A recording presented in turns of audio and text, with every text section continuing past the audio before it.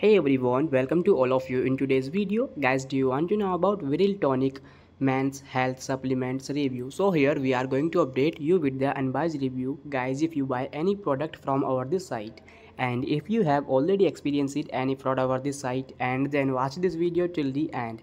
In the end of the video, you know the legitimacy of this site. Let's get started. Today's we are provide complete detail about this site so stay tuned with us. Don't miss the points. This is an online site which offerings Viril Tonics supplement for men.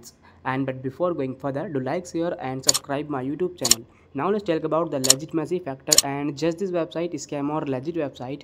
The trust score of this site which is good. The website server smoothly indicate might be a legit website according to our research after check with 40 different elements and check the hidden content detail like where the website hosting what technology being used location popularity to and much more. In the conclusion basis on all the information Gritcher the website appeared to be a scam or legit website but we also recommend make a right conclusion on the basis of manual research. If this review is helpful for you then do comment your thought about this video. We are always active in answering your comments. That's all for this video. So friends like my video share my video and subscribe my youtube channel. Friends take care. Bye bye